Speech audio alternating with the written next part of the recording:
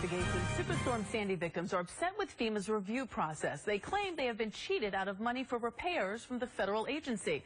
Someone Seven News Side's Nina Pineda is here with the details. Nina? And the family you're about to meet has a familiar story. Flooded out by Sandy, only got $14,000 from FEMA, even though it'll cost nearly a hundred more grand more actually to fix their house. Now they say they were victims of fraud in a flawed review process.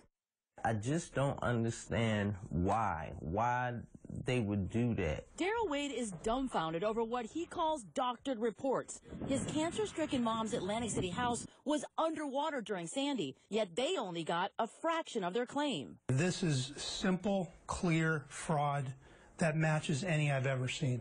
The Wade's attorney says the proof's in these pictures that someone altered the FEMA adjuster's report. It's a sham. The entire review process is a sham. Here you can see FEMA's initial report shows damage to the Wade's house. And he writes right here, floodwaters damage water heater and boiler. But the same picture two weeks later, it's written no damage to the boiler. Nobody came out in between. They simply changed the description to floodwaters did not damage water heater and boiler. The floor also goes from damaged in the first report. Somebody literally just typed in a U and an N. So it went from damaged to undamaged. It's just blatant fraud.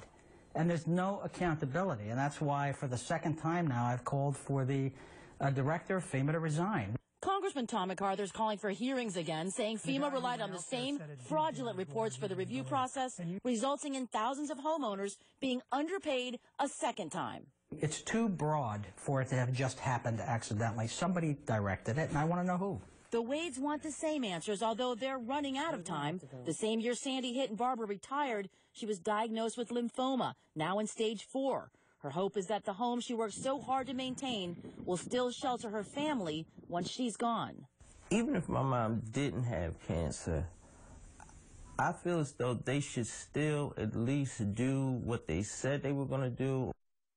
And FEMA told us it's working with the Wades on a daily basis to see that Barbara's paid every penny that she is due. And the agency said that since this evidence of underpayment came to mm -hmm. light, they've paid out an unprecedented amount of money, about 77 million, and reopened all those claims.